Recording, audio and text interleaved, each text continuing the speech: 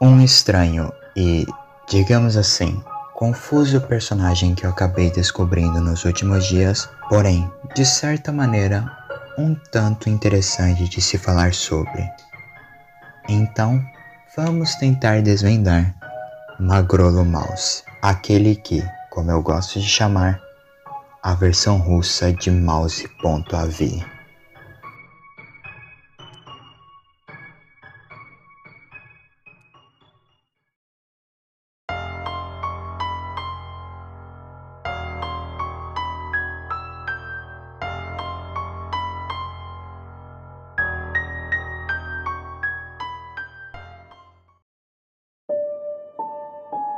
Como eu já falei no canal algumas vezes, Mouse.avi é uma das creepypastas com maior quantidade de versões criadas por fãs. Vocês provavelmente já conhecem algumas delas, tanto que eu já falei no canal de algumas delas. E uma dessas versões é o próprio Magrolo. Magrolo é assim como Mickey, um rato preto. No entanto, ele possui um macacão vermelho, dentes muito maiores, bigodes bem mais aparentes, olhos vermelhos e parece ter uma expressão bem mais agressiva que o nosso conhecido rato. Ele parece ter sido criado mais ou menos na mesma época que o Mickey, porém, até então não existem muitos vestígios de seus curtas, por um motivo que logo logo eu direi. Seu único vídeo ainda existente e que podemos assistir é um vídeo muito similar, se não idêntico, ao vídeo original e perdido de Mouse.avi, que vocês provavelmente já conhecem. Porém, com Magrolo no lugar do Mickey, onde mostra Magrolo caminhando por uma cidade olhando para o chão, enquanto cada vez mais as coisas ficam macabras e mais Magrolo sorri até cair no chão derrubando uma seringa que estava carregando.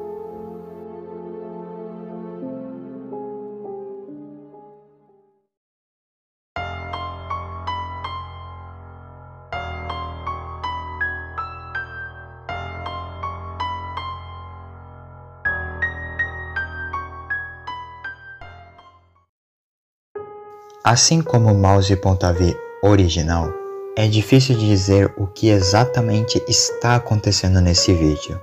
Afinal, temos muitas poucas informações do vídeo em si e do próprio Magrolo. Mas eu vou dizer uma teoria, criada pelo youtuber BR Sullivan.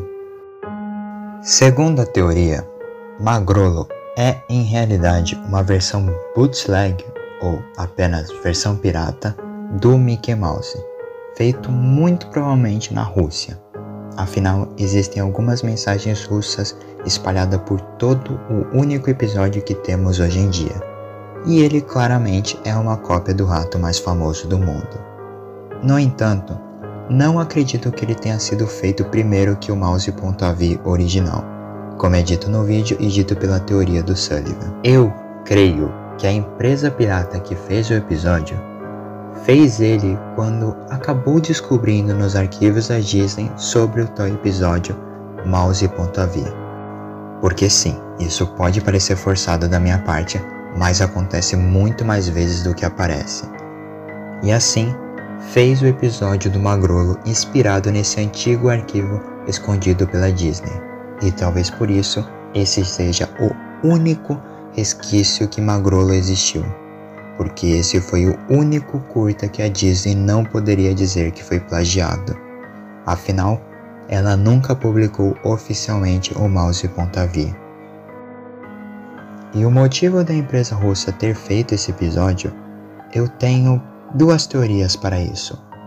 Ou eles pensavam que talvez a Disney pudesse lançar o mouse.avi ao público e assim eles poderiam processar a Disney por um possível plágio Afinal, o episódio do Magrolo havia sido lançado oficialmente primeiro, ou uma teoria que eu acredito mais, é que essa empresa buscava espalhar que esse episódio existia, criando essa versão bootleg utilizando o Magrolo numa tentativa de impedir qualquer maneira da Disney derrubar seu vídeo.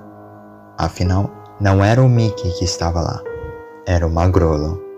E assim, a Disney jamais conseguiria esconder o erro que cometeu e tentou esconder por tantos anos, porque agora a sua versão pirata faria com que todos soubessem que ele existiu. E a Disney jamais poderia fazer nada para mudar isso.